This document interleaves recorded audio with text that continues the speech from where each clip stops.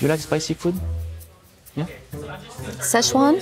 Oh, I love Szechuan pepper. Szechuan's the best. Oh my god, this this tiddle- tickling in the mouth and It's it's the numbness. the, the numbness. I just love it. It's like It's so cool. It's like drug. You, you, you eat some you want some more. You Some people big. don't like it. They like it, yeah. Ooh, ooh.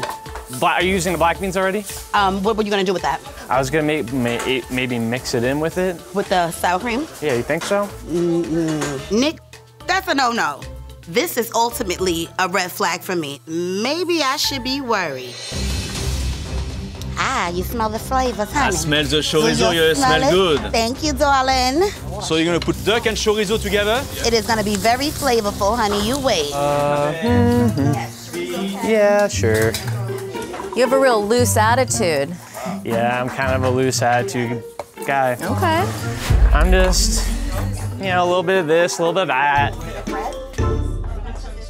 What are you cooking, guys? Tell me what you're cooking. We're cooking. gonna make son. a, like a cauliflower fried rice uh, with our jalapeno and pork, and then we're gonna have on the side uh, really light uh, brown rice porridge. So you do porridge and rice.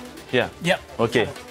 that's beautiful. That's okay. Um, can That's we, enough, right? Yeah, that's perfect. Okay, that's more perfect. than enough. Let's get the, I think the pork and cut it into like really thin slices. Okay. Like thin strands. Okay, I got you. The pork chop is not easy to cook, so it's going to be interesting to see how they cook the pork. You know, we want the pork to be medium. I mean, they chop the pork chop, and you should always the pork chop you cook with the bone. Right. and Even the I know that. You know that. You know, it's so weird because it's a flavor.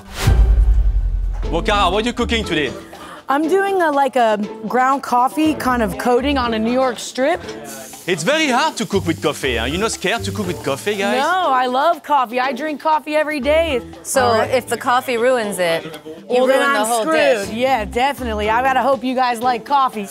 So you what uh, vegetables? So potato, zucchini. some grilled zucchini with some garlic. You know the trick? So when you go find, you, you put a little bit of olive oil.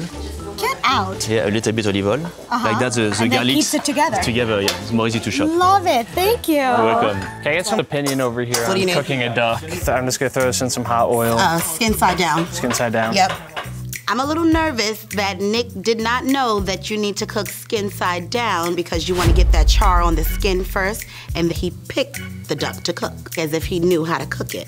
What are you cooking? Duck? Um, oh! Yeah, I'm pan frying a duck that I marinated in some sweet, vinegary glaze, some garlic in there. Good, spicy, it's good. I'm concerned about those potatoes. I'm gonna do as thin as possible so they cook fast, okay? Perfect. So who do you think the rat is? I don't know, Cara, I don't know, this, this steak with the coffee really. But I'm mm. going to see how she cooks the steak because if the steak is cooked perfectly, she props not the rack. Mm.